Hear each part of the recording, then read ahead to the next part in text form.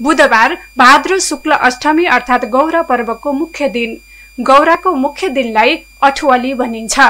यस दिन गौरा महेश्वरको विशेष पूजाआजा गरी भव्यताका साथ गौरा पर्व समापन गरिन्छ। भदौ शुक्ल पञ्चमीदेखि सुरु हुने सुदूरपश्चिमेलीहरूको महान पर्व।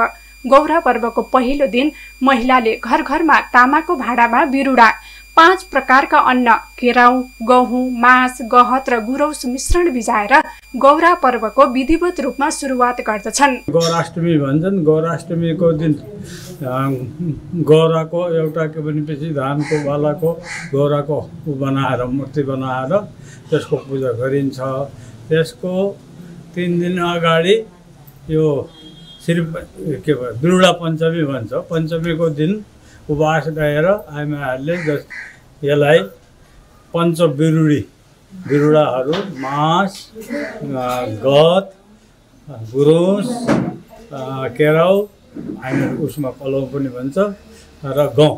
पाँचवटा अनाजको एउटा भिजाएर मिक्स गरेर शुद्ध किसिमले भाँडोमा गर्छन्।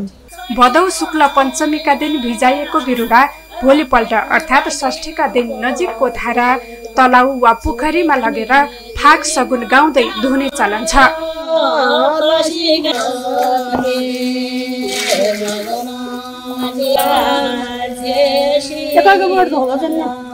सोही पञ्चधान साउ तिल बेल पाती लगायतका वनस्पति झारको प्रतिमा बनाएर पधेरामा राखी पूजा गरिन्छ।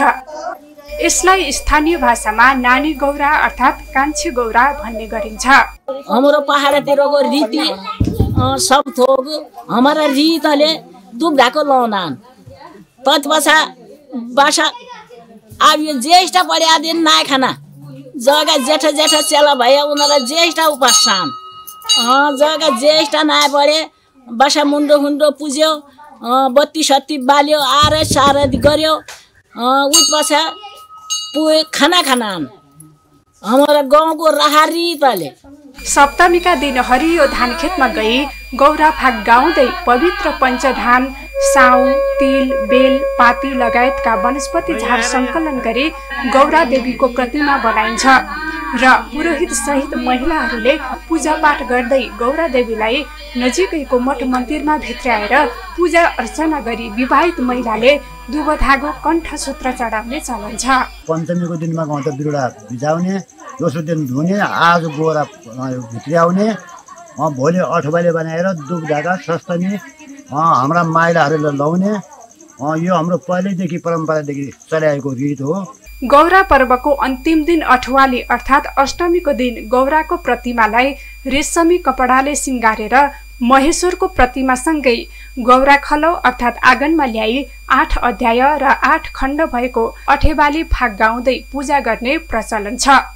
अठेवालीकै दिन महिलाहरूले सप्तमीको दिन गौरा देवीमा समर्पण गरेको दुब धागो समेत धारण गर्दछन्। गौराको प्रतिमालाई सिँगारेर महेश्वरको प्रतिमासँगै बाहिर ल्याई गौरा मन्दिरमा विराजमान गराई गौरा सम्पन्न गराइन्छ।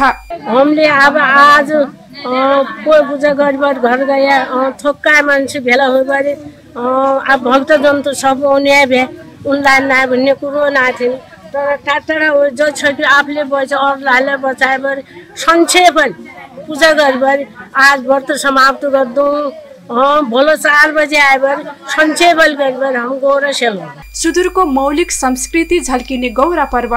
डडेलधुरा दार्चुला बैतडी डोटी बझाङ अछाम कैलाली कञ्चनपुर तथा भारत उत्तराखण्डको कुमाउ गढवालमा समेत मनाउने चलन छ।